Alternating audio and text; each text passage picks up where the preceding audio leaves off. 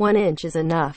So the performance is directly proportional to the size मतलब कि जितना बड़ा सेंसर साइज़ होगा, उतनी ही बेटर फ़ोटोज़ निकल कर आएँगी। और ये चीज़ 99% केसेस में सही भी साबित होती है। और इसी चीज़ को अपनी मार्केटिंग स्ट्रेटेजी में यूज़ करती हैं camera companies specially one inch camera sensor size के लिए, जिसका एक्चुअल साइज़ वन इंच के आसपास भी नहीं होता। अगर यहाँ पर हम डिस्प्लेज का एग्ज़ाम्पल लें तो डिस्प्लेज को हम डायगनली मेजर करते हैं। अगर आपने एक पचपन इंच का टीवी बाय किया है तो अगर आप उसे डायगनली मेजर करेंगे तो वो पचपन इंच का ही होगा। लेकिन कैमराज के केस में ऐसा नहीं है।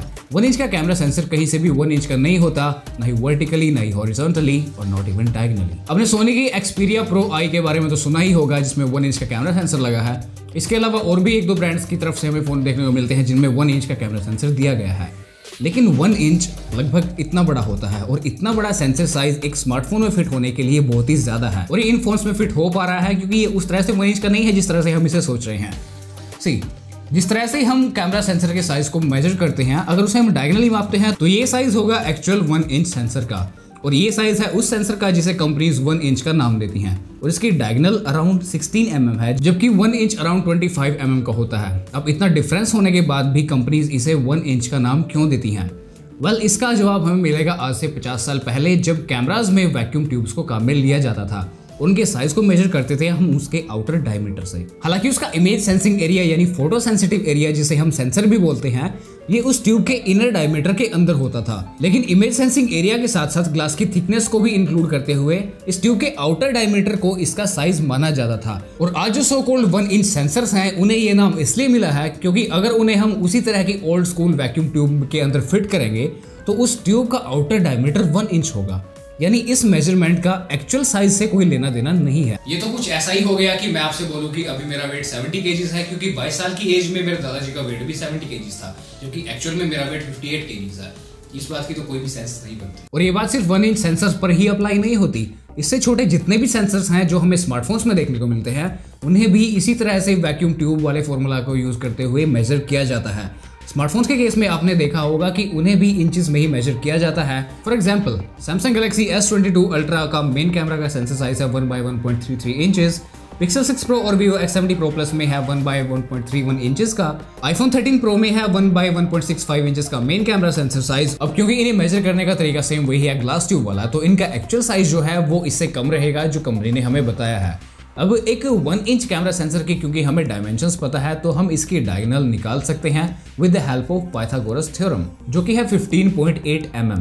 और अगर हमें किसी सेंसर का वो ट्यूब वाला साइज़ यानी जो साइज़ इंचेस में कंपनीज़ बताती हैं, वो पता हो उसके बाद हम उसका एक्चुअल साइज़ कैसे कैलकुलेट करेंगे, इस बारे में मैंने काफ़ी रिसर्च करी और मुझे एक वेबसाइट से ये मिला। जो भी साइज़ हमें दिया गया है, उसे अगर हम टू बाई थ्री से मल्टीप्लाई करेंगे तो हमें उसकी अप्रोक्सीमेट डायगनल मिल जाएगी। लेट्स से हमें Galaxy S twenty two ultra के सेंसर की डायगनल कैलकुलेट करनी है तो हम इसका जो साइज़ है one by one point three three inches इसे मल्टीप्लाई करेंगे टू बाई थ्री से तो हमें इसकी अप्रोक्स डायगोनल मिल जाएगी, जो कि है अप्रोक्स पॉइंट फाइव इंचेस लेकिन जो साइज़ हमें सैमसंग ने बताया है, उसे अगर हम इंचज़ में कन्वर्ट करते हैं तो वो आती है लगभग पॉइंट सेवन फाइव इंचेस के आसपास।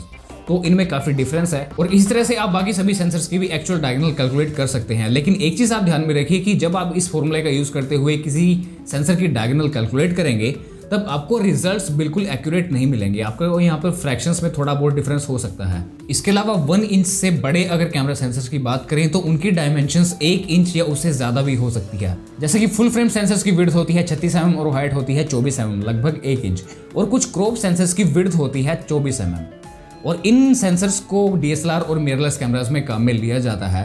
अब क्योंकि इनकी एक डायमेंशन ही एक इंच से ज़्यादा है तो ऑब्वियसली इनकी डायगोनल तो उससे ज़्यादा ही होगी।